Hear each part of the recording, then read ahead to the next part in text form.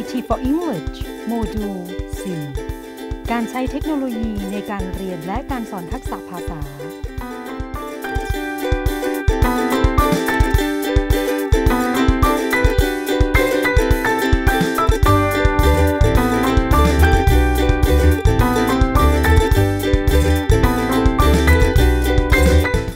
รูปแบบกระบวนการอ่าน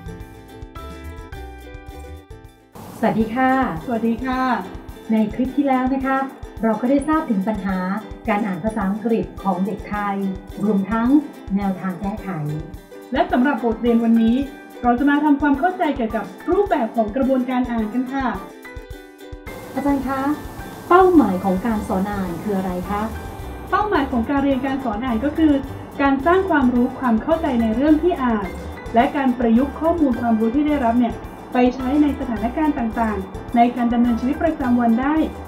เป้าหมายหลักของการอ่านก็คือ การสร้างความหมายจากเรื่องที่อ่านค่ะ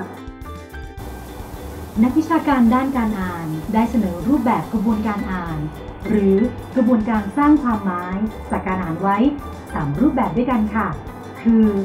รูปแบบกระบวนการอ่านจากล่างขึ้นบน หรือที่เรียกว่า bottom up model 2. เป็นรูปแบบกระบวนการอ่านจากบนลงล่าง หรือ top down model และรูปแบบกระบวนการอ่านแบบบูรณาการ หรือที่เรียกว่า integrated model ทั้ง 3 รูปแบบให้คำอธิบายวิธีการสร้างความหมายของผู้อ่านไว้ต่างกัน ดังนั้นการเรียนการสอนอ่านที่ใช้รูปแบบใดรูปแบบหนึ่งจึงมีความแตกต่างจากอีกรูปแบบค่ะ รูปแบบกระบวนการอ่านจากล่างขึ้นบน เป็นรูปแบบที่อธิบายการสร้างความหมายในการอ่านว่า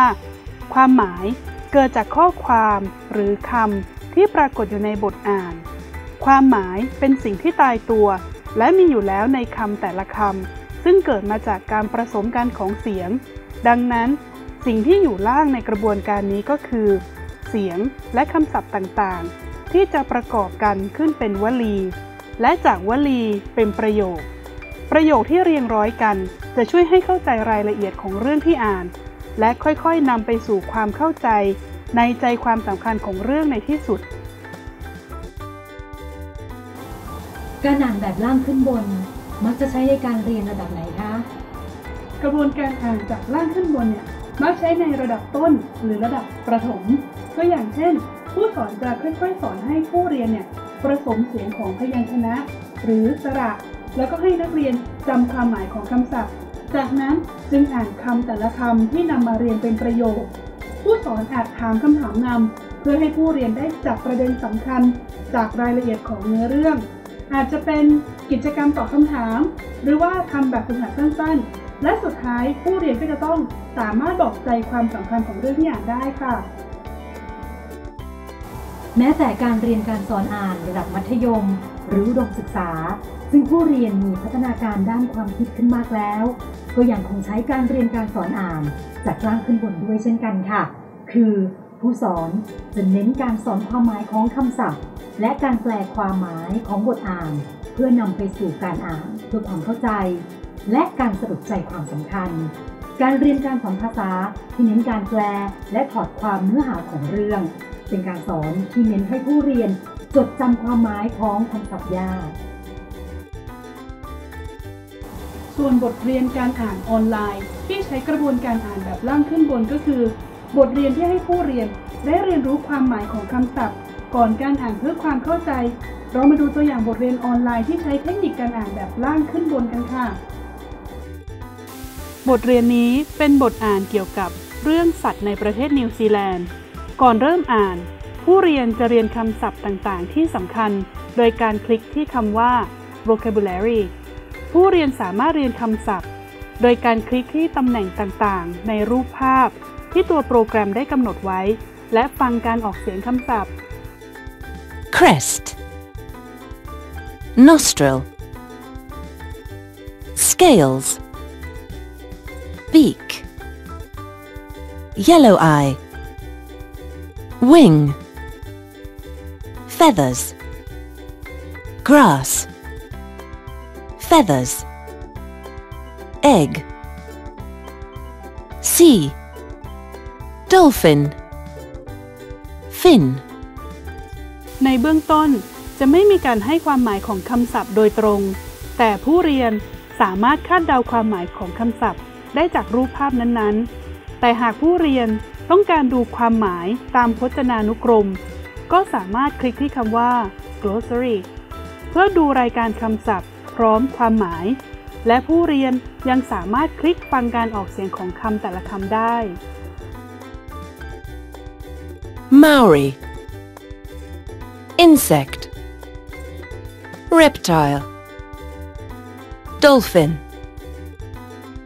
penguin, wildlife sanctuary, เมื่อผู้เรียนพร้อมก็สามารถเริ่มอ่านบทอ่าน ผู้เรียนมีสองทางเลือก คือ นั่งอ่านเนื้อเรื่องในใจ หรืออาจเลือกให้โปรแกรมอ่านเนื้อเรื่องให้ฟัง เมื่ออ่านจบแล้ว ก็ได้เวลาทำแบบฝึกหัดที่หัวข้อ activity กิจกรรมหลังการอ่าน เป็นคำถามแบบเลือกตอบ ผู้เรียนจะอ่านประโยค และเลือกคำตอบที่ถูกต้องที่สุด หากทำถูกคำตอบนั้นจะกลายเป็นสีเขียว หากทำผิดจะเป็นสีแดง และมีการเฉลยคำตอบที่ถูกต้องให้ สุดท้ายจะมีการสรุปคะแนนของการทำแบบฝึกหัด ต่อไปเรามาดูกระบวนการอ่านรูปแบบที่ 2 กันบ้างนะคะ รูปแบบนี้เรียกว่ากระบวนการอ่านจากบนลงล่างคำว่าบนในที่นี้ คือ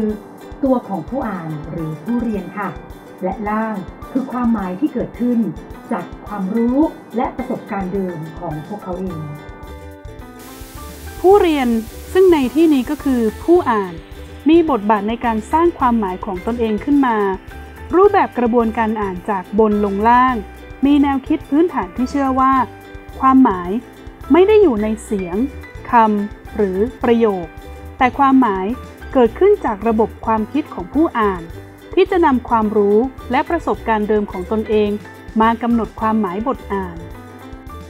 ถึงแม้ในการอ่านครั้งแรก ผู้เรียนอาจจะยังไม่ทราบความหมายของคำศัพท์ในทันที แต่พวกเขาก็จะใช้พื้นฐานความรู้เดิมที่ตนเองมี หรือประสบการณ์ที่เคยพบคำศัพท์ที่อ่านนี้ในบริบทอื่นๆ เพื่อคาดเดาความหมายที่น่าจะเป็นไปได้ของคำเหล่านั้นค่ะ เรามาดูตัวอย่างบทเรียนที่ใช้เทคนิคการอ่านแบบบนลงล่างกันค่ะ บทเรียนนี้เป็นบทอ่านที่เกี่ยวกับการตัดสินใจ ในกิจกรรมแรก ผู้เรียนต้องจับคู่กัน และเล่าให้เพื่อนฟังเกี่ยวกับการตัดสินใจที่ดีที่สุด และแย่ที่สุดของตนเอง และเล่าว่าเกิดเหตุการณ์อะไรขึ้น กิจกรรมนี้เป็นการดึงประสบการณ์เดิมของผู้เรียนในหัวข้อที่เกี่ยวข้องกับเรื่องที่อ่าน พื่อช่วยให้สามารถตีความหมายของเรื่องที่อ่านได้ดีขึ้น ในกิจกรรมที่ 2 ผู้เรียนจะเริ่มอ่านเนื้อเรื่อง และตอบคำถามที่เกี่ยวกับการตัดสินใจของคนที่ถูกกล่าวถึงในเนื้อเรื่อง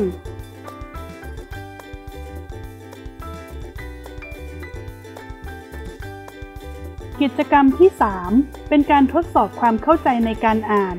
โดยการตอบคำถามแบบถูกผิด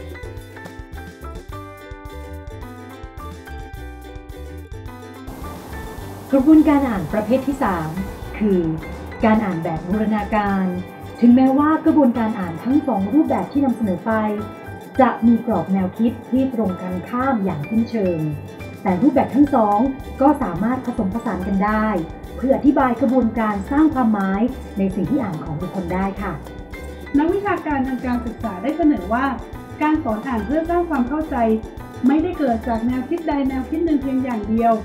แต่ทั้งตัวบทอ่านและผู้อ่านต้องปฏิสัมพันธ์ซึ่งกันและกันเพื่อนำไปสู่ความหมาย ตามแนวคิดของการอ่านแบบบูรณาการ ความเข้าใจในการอ่านหมายถึง การรู้ความหมายของสิ่งที่อ่าน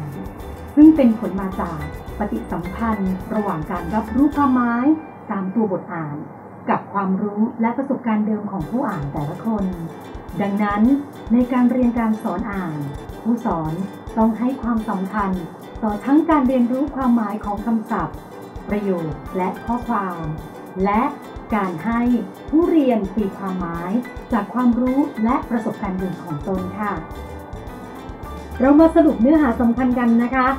กระบวนการอ่านมี 3 รูปแบบ คือ การอ่านจากล่างขึ้นบน ที่เน้นให้ผู้เรียนเรียนรู้เสียงและคำศัพท์ ก่อนทำการอ่านเพื่อความเข้าใจ ต่อมาก็คือ การอ่านจากบนลงล่าง ที่จะสนับสนุนให้ผู้เรียนดึงความรู้และประสบการณ์เดิมของตน มาใช้ในการทำความเข้าใจเรื่องที่อ่าน และการอ่านแบบบูรณาการ ที่ผสมผสานทั้งสองแนวคิดเข้าด้วยกัน หลังจบบทเรียนวันนี้ลองไปศึกษาเว็บไซต์ที่มีบทเรียนการอ่าน และวิเคราะห์ดูนะคะว่า เขาใช้กระบวนการอ่านรูปแบบใดสำหรับวันนี้ขอลาไปก่อน สวัสดีค่ะ สวัสดีค่ะ